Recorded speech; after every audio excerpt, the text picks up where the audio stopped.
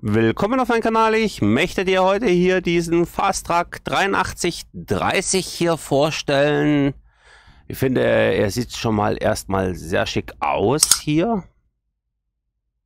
Wenn man sie anschaut, es ist eigentlich eher, wir mal so, Standard. Aber wir können hier ein bisschen was hier verändern, als wie das Original natürlich. Der kostet hier 292.000, so wie jetzt dasteht, und Leasing hier 14.892. 90 km so schnell, also das ist schon mal ein Unterschied, weil der Standard geht irgendwas, glaube ich, bei die 70 km/h rauf. Der hier hat jetzt 90 km/h drauf.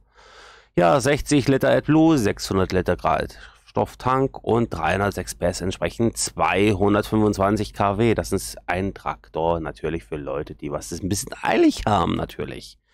Ja, was können wir hier machen? Wir haben hier Felgenfarbe. Dann haben wir hier dieses, also dunkle Orange, wie wir sehen, für 100 Euro. Oder hier grau für 0 Euro. Oder hier, wie wir sehen, hier so schwarz. Schwarz sieht auch geil aus.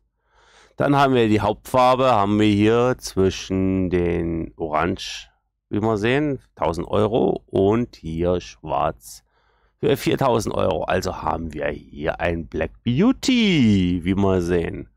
Ja, ich mache mal die Farbe, den mal komplett mal hier wie in der Farbe, wie wir ein bisschen gewohnt sind, dass es natürlich ein bisschen schicker ausschaut. Ich würde ihn eher so kaufen. Jeder hat seine eigene Meinung, aber ich sag mal so, mir gefällt er so optisch her natürlich so besser. Ja, Reifenhersteller mit Rennerbock, dafür sind schon allein 2000 Euro für die Standardreifen zu löhnen. Ja, dann haben wir hier 600-710 für 2900 und dann hier für 5000 haben wir die Breitreifen. Gehen wir nochmal zurück, dass wir ein bisschen den Unterschied natürlich sehen. So, dann haben wir hier also für 5000 Euro die 710-900. Wie wir sehen, sind die noch ein bisschen breiter als wie die Breitreifen. Und dann sind wir wieder bei Standard. Dann haben wir hier also die Nokia, die Kommunalreifen für 1000 Euro. Dann haben wir hier die Michelin-Reifen für 2900 Euro. Dann hier die Breitreifen für 8000 Euro und wieder Standard. Und dann sind wir hier wieder, hier, wie wir sehen, beim Mitas angelangt. Für 2000 Euro die Standardreifen. Breitreifen für 2000 Euro oder wieder Standard. Ja, was nehmen wir dann mal her? Wir nehmen mal die Michelin, die Breitreifen, dass wir was sehen.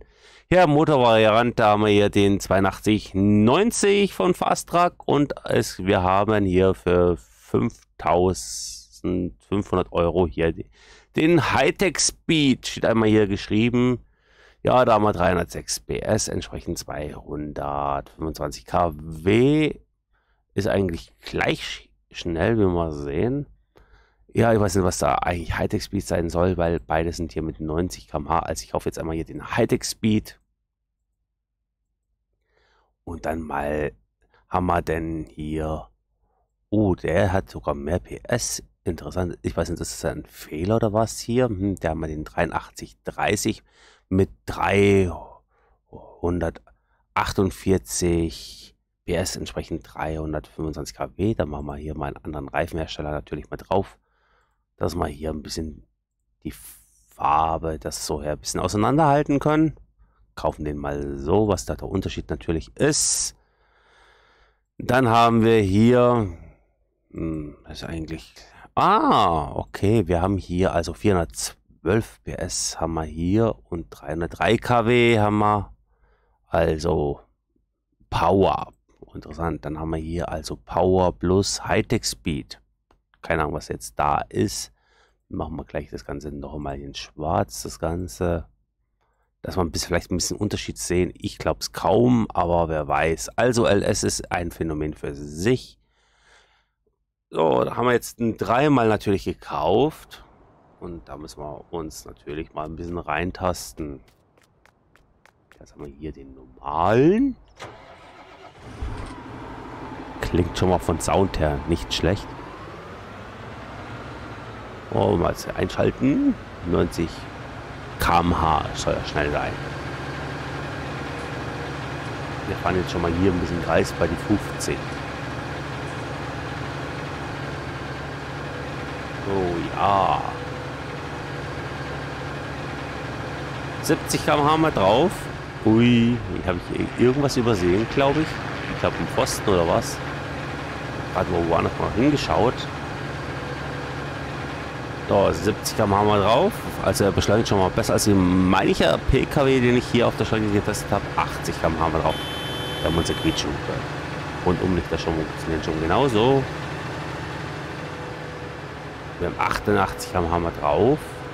Auf, ich glaube, der fährt jetzt schneller als wie 88. Weil wir fahren jetzt gerade hier mal also auf der Ebene am Weg. Bremsen tut er schon mal gut, wie man sieht. Kommen wir mal ein bisschen Retour. Das ist jedenfalls einer, der hat hier eine vordere Lenkung, wie wir sehen. Wir werden natürlich auch gleich nachher schauen, ob der hat eine andere Lenkvariante. Spiegeleine, wie wir sehen, funktionieren hier. Lenkrad auch, Gaspedal funktioniert auch. Leider, wie wir sehen, Joystick hier funktioniert leider hier nicht. Die Elemente hier seid auch nicht. Wir haben hier drin eine dynamische Kamera, wie wir sehen. Display, das wird hier auch angezeigt. Blinker-Symbol. Nein, ja, leider, wie wir sehen, fehl am Platz.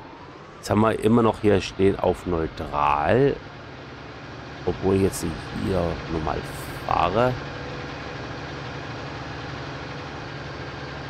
Gehen wir ein bisschen Gummi. Von innen drin her ist es natürlich schön aus, die Ansicht zu sehen, wie hier alles so dynamisch ist, so ja, dass die Konsole an der Seite her. Kamera könnte natürlich ein bisschen natürlich mitwackeln. Da würde man sich ein bisschen mehr freuen. Wir fahren gleich hier mal unser Testgelände. Oh, bremsen tun wir mal erstmal. Die linken tue jetzt mal gerade mal nicht. Weil ich möchte gerade hier mal natürlich das hier anschauen. Dann sehen wir hier Achse leider nicht so flexibel, wie ich mir gedacht habe. Ein bisschen, aber nicht viel.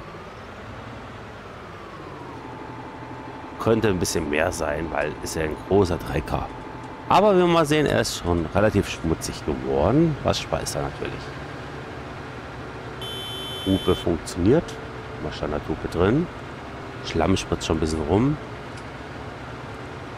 Er wird natürlich noch ein bisschen schmutziger als wie sonst ist.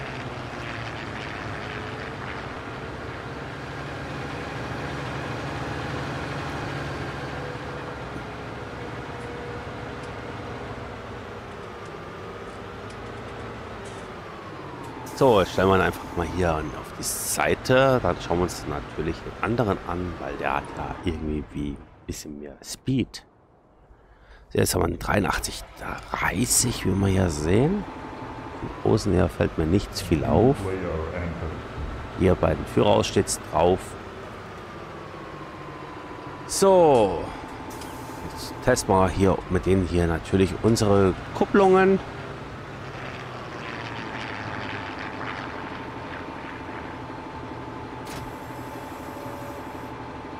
sehen wir jetzt hier. Elektraulik hinten funktioniert da los. Finde, natürlich sieht auch schon mal sehr interessant aus. Von außen sehen wir hier die Hand hier an den Knüppel dran. Aber leider hier ohne weitere Animation. Hier vorne. Hier passt genauso. Hier haben wir vorne auch noch natürlich eine Kupplung hier, wie wir sehen, für einen Hitchhaken zu mir, dass das Hitchhaken ist so Zug, ich sage immer so ein Zugmaul. Schauen wir jetzt mal hier. Anschlüsse hatte hier vorne, hier unten her. Sehen wir jetzt sind hier dran. Hat sogar Tabelle. Hm, habe jetzt hier, aber es sind keine Anschlüsse da. Auf der anderen Seite. Hm. Naja. Wie gesagt, es ist ein Phänomen für sich, LS. Kann ja mal überlegen, so 15er waren hier die Richtung Andersdorf von der Seemaschine, als wie ich gefahren bin.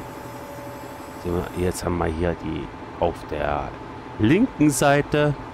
Auf der rechten Seite sehen wir hier die Anschlüsse. Weil auf der linken Seite sind hier jetzt auch Anschlüsse.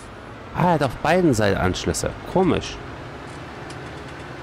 Aber, wie wir gesehen haben, funktioniert. Ein bisschen irritiert. Vielleicht hat er es doppelt drauf gemacht. Wer weiß. Aber ist jetzt egal. Hauptsache es funktioniert. Wir schauen uns dann natürlich dann die Lok an. Das ist das Wichtigste natürlich.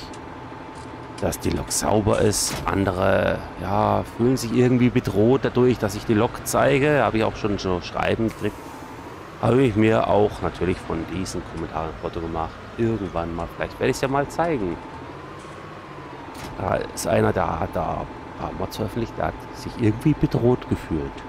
Weil ich die Lok gezeigt habe. So, wie wir sehen hier, ist alles, der variiert von der Höhe. Gefällt mir ganz gut, muss ich dazu sagen. So, jetzt machen wir natürlich hier unseren Lichttest. Bei denen haben wir jetzt eine Geschwindigkeit von 65 km/h eingetragen, wenn wir natürlich dann auch testen. So, erstmal unser Lichttest, weil meiner Meinung nach dürfte es gleich bleiben. Also, jetzt der Blinker. Wir haben hier einen Schein am Boden. Das funktioniert schon mal. Hier mal sehen. Vorne und hinten. Dann haben wir jetzt Numbit 5 vorne. Numbit 6 hinten. Jetzt kommt nochmal das F dran. Einmal, wenn man jetzt nur vorne, hinten her, äh, vermisse ich ein bisschen den Schein. Jetzt mit die Zusatzscheinwerfer hinten. Also 1, 2, 3. Jetzt her. Sieht schon mal schick aus. Natürlich Rundumleuchte dafür auch nicht fehlen. Dann schauen wir jetzt hier innen drin natürlich um. Leider sind wir jetzt hier drin vom Blinker keine Animation. Ich habe jetzt hier die eingeschalten.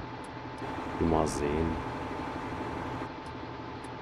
Irgendwie. Man hört zwar das Klicken ein bisschen von dem Relais, aber der Rest irgendwie fehlt da natürlich. So.